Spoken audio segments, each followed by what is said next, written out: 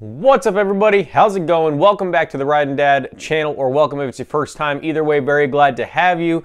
We just came out of the rainy season in Florida. I got a couple thousand miles, definitely not dirty enough, but I want to do it. Uh, we are going to go ahead and clean the air filter. Not only are we going to clean it, we're going to change it from red oil to black to blend in with this black and stainless look I've got going on on this Lowrider S. So let's roll the intro without further ado, and we'll come right back and get into it. Riding down a YouTube channel, it's the Riding down a YouTube channel, it's the Riding down a YouTube channel, it's the Riding down a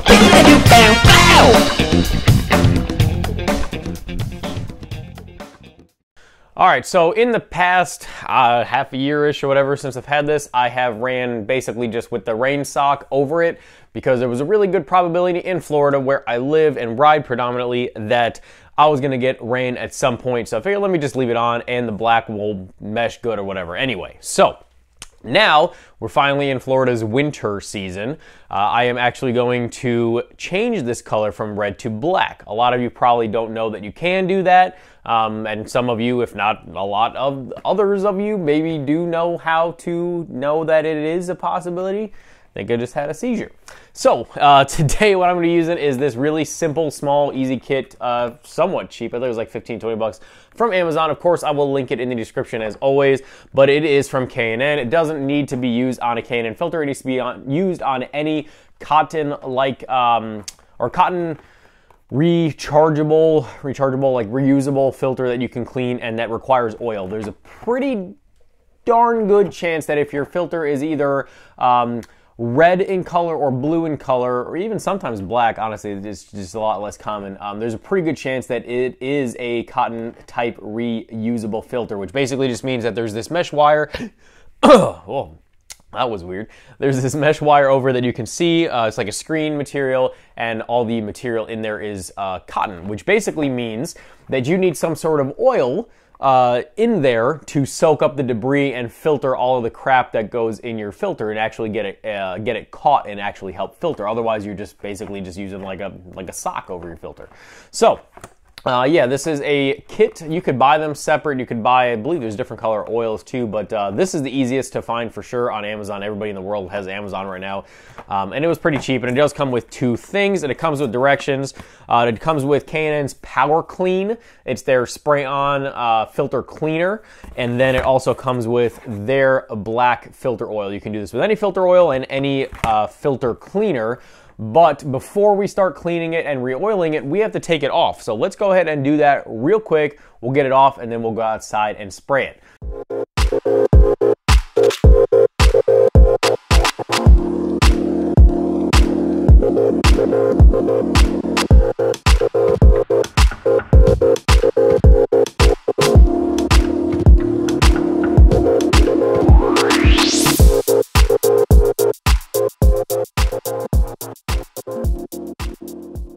All right, so now that we have the filter outside, uh, we're gonna take K&N's Power Clean.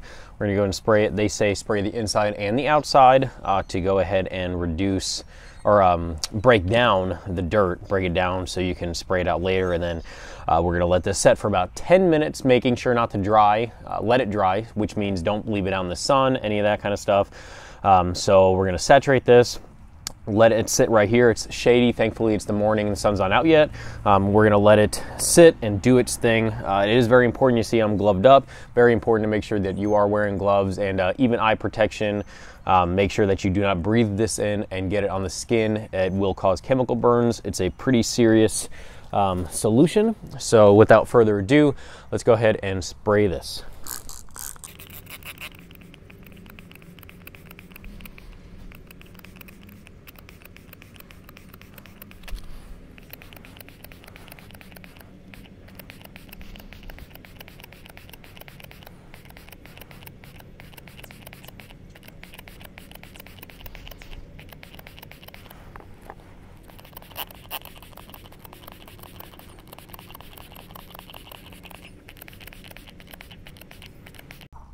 And your finger will get tired. All right, nice and saturated. We're gonna let this sit for 10 minutes. All right, it's been about 10 minutes. Uh, still nice and wet, which is what we like to see. We don't want, again, we don't want it to dry out. um, now we got our hose. We're gonna hose it out from the outside in. Theoretically, the clean side to the out, or to the dirty side, pushing all of the contaminants out. We wanna do our best to get all of this crap off of here and again being very careful we don't get this on uh, ourselves or you know whatever so uh, let's go ahead and hose this off and then we're gonna have to let it dry uh, i'm gonna let it dry this is saturday morning i'm gonna let it dry all day uh, hopefully by sunday morning it'll be dry enough to re-oil so you guys will see me back tomorrow morning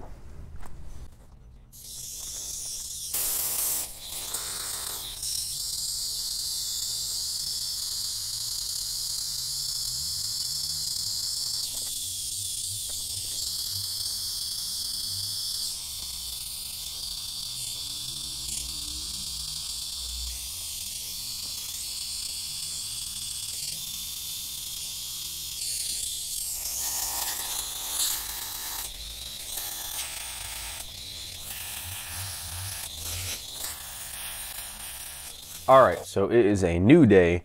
We got our filter oil. We have our filter that has been drying outside, not in direct sun, uh, but in my screened-in area, kind of screened-in area, uh, a little bit of a shaded area, but uh, definitely got a little hot out there. Uh, it's been a full, right around full 24 hours. You see, it's obviously still red, so I'm not sure if that's just whatever reason they use red cotton for the Trask filter or if that red has just been staying in there, um, or if I needed to clean it several more times. You can repeat the process we did before, uh, spraying it with the solution. Uh, supposedly, I will mention also, supposedly a uh, very soapy water solution works, like just Dawn dish soap in a spray bottle with water. Supposedly that works also. Um, uh, who knows? Didn't try that yet, uh, but I heard good things about it on the interwebs. Uh, but yeah, uh, maybe after two or three more times it would have worked. Uh, but this filter wasn't super dirty to begin with. I wasn't worried about it. A lot of its life was spent behind that rain sock anyway. Um, so I didn't want to do more uh, than just that one time. But anyway, now we are going to oil it. Basically, just going to take your filter oil, whichever kind of oil it is, and put it on every, or in between like every kind of pleat. Um, so we're going to do that, and then we're going to let it rest for 20 minutes, and we're going to come back to it uh, all the oil should have wicked into it in that 20 minutes. Uh, when we come back to it, if there's any spots that we don't feel that uh, are covered in oil, we can touch it up. Uh, and then we're going to put it back on the bike. So let's get started.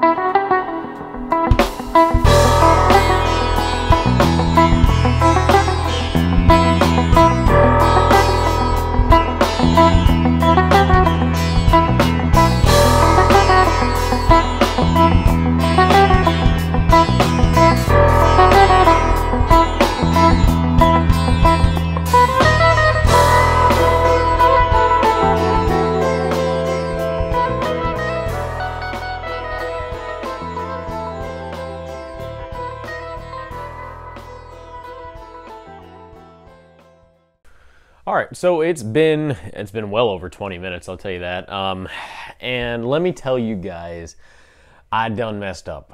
Uh, you saw me in the video go back over it twice because there was still a lot of the red parts on it.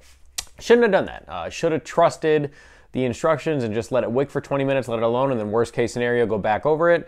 Um, so I put a little bit because I was going like real, um, real thin in the beginning. So I was like, oh, this is the first time I've done an air filter like this. I've done the foam like dirt bike air filters before, like just the foam block. That's super easy.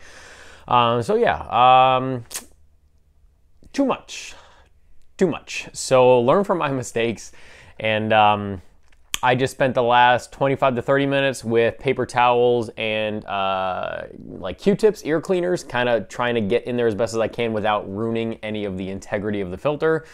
Um, it's to the point where like nothing's leaking out, but it's definitely it's definitely too wet. I mean, just wiping my glove along the side of the filter, get a little bit of residue. So I am not going to clean it out uh, just to do this all again. I am going to wipe it off one more time and then just hopefully in the course of riding it, um, it will kind of set in the filter and everything. So yeah, uh, learn from my mistakes. Don't over oil your filter. Uh, but on the bright side, it does look pretty black. Um, there's still a little bit of red poking through in some spots, but I think maybe the next time I clean the filter, um, that will all be gone anyway. So yeah, um, here it is. What we are going to do now, uh, I'm going to wipe it off one more time, and then I'm going to install it back on the bike, and let's let's see how it looks.